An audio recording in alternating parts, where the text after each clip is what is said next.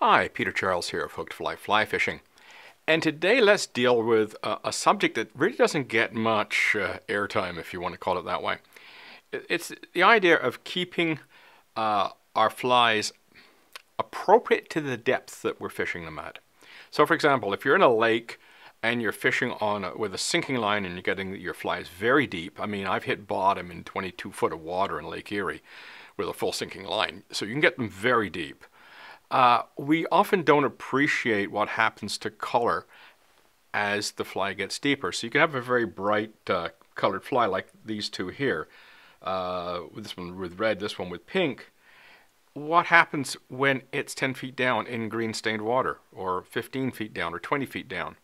You know, are you still seeing those same colors? Uh, we've got this little fellow right here. And, uh, you know, that will work well at depth because you've got a dark wing and a, a, shiny body and that yellow throat will show up. But that red tail is going to disappear. You know, same if we're talking about uh, good old black-nosed dace.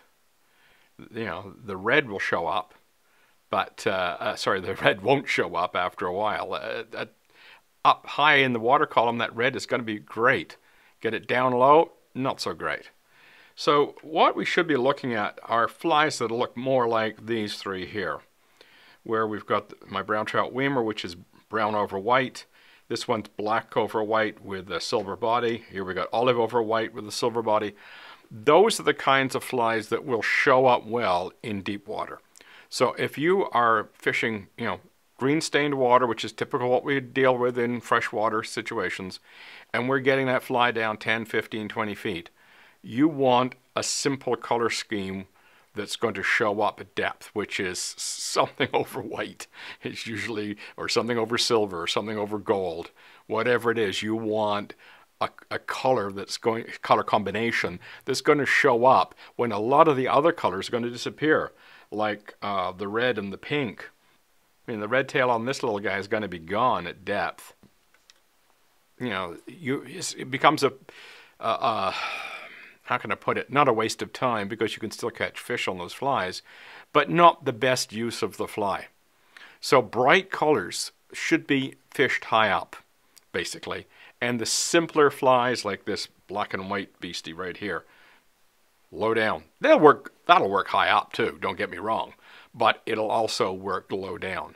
So when you have your fly box open and you're trying to pick a fly to fish at depth, look for those simple dark over light, shiny, you know, basic patterns, basic color schemes, they're going to work no matter what. In because at depth, a lot of our fancy colors just disappear or become muddy or, you know, they they lost lose their punch, and uh, the fish don't really see them that well. Plus, the other thing which is interesting, uh, the the color spectrum of the fish's eyes uh, are different from what we, we expect with our human eyes. They may not be seeing those colors anywhere near what we think we're they're seeing them at. So that's the other aspect. And the deeper you get, the more they get down into the basic dark and light. It becomes more important than bright red. So keep that in mind. Dark over light, keep it simple if you're going to be fishing low. If you're going to be fishing high, then the spectrum opens up more. So don't forget that one. It's important if you're fishing your flies quite deep. Cheers.